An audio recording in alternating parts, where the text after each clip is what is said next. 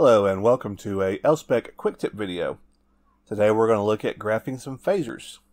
So we'll start our investigation, go with our component for our source, choose the meter we're looking at, and then we're going to go last hour to kind of keep it uh, the data the data set small.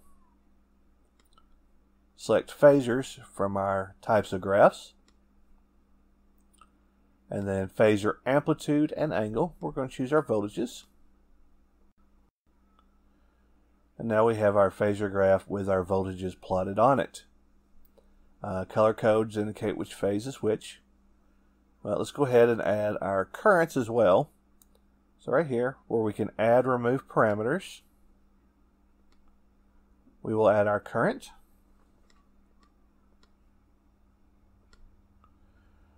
Now, when your current shows up in plots, you're going to see um, we've got little dots at the end of it. That indicates the direction and the amplitude that the currents have changed over the past hour. Uh, they've all been less than 10 degrees in, in their phase angle.